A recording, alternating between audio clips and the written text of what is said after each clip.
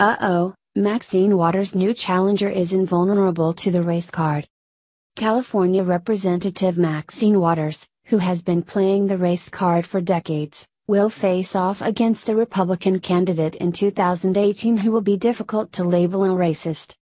Omar Navarro, a Latino, has challenged the liberal incumbent for California's 43rd congressional district seat, which is up for grabs next year and he has already racked up a long list of big name conservative supporters to help him be successful.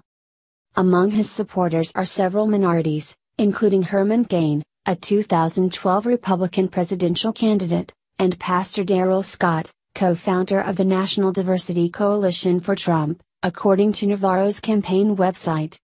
This won't be the first time Navarro has tried to unseat Waters as he previously challenged her for the same House seat in 2016, but she won with more than 70% of the vote, the Los Angeles Times reported.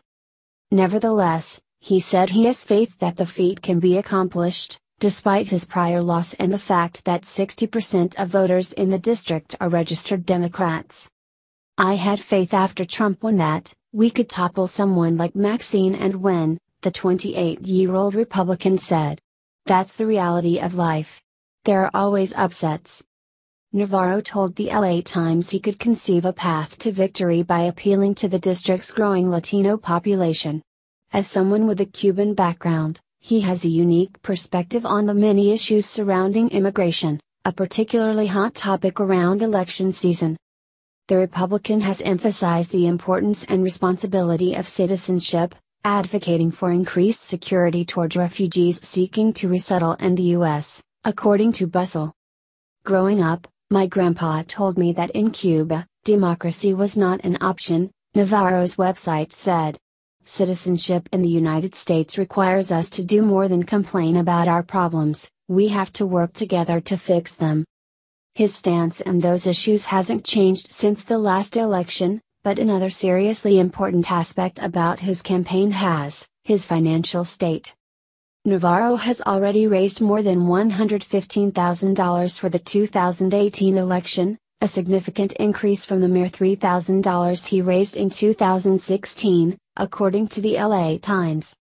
He's hopeful that the increase in funds will result in a better turnout than his 2016 bid, which, despite his loss, signaled that a change in the political winds could be on the horizon.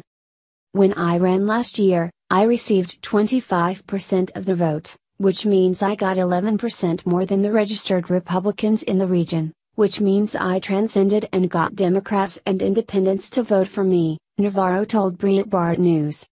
At a campaign rally outside of Waters' $4 million out of district mansion in Hancock Park, an hour away from the 43rd district, a black supporter for Navarro said Waters simply hasn't helped her community, according to a press release.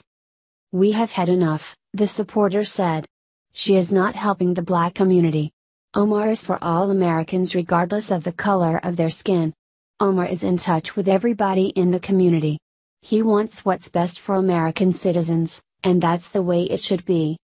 Waters would certainly have a hard time painting Navarro as a racist the way she has infamously done to anyone who dares to disagree with her liberal policies. While she spends her time needlessly calling for President Donald Trump's impeachment, Navarro is on the ground in the 43rd District, talking to voters about what they really need from their lawmakers and showing them how Waters has failed to look out for their best interests. It will be interesting to see if Navarro can be successful. We certainly hope so. Like and share this article on Facebook and Twitter and tell us what you think about Omar Navarro's campaign to unseat crazy Maxine Waters. Waters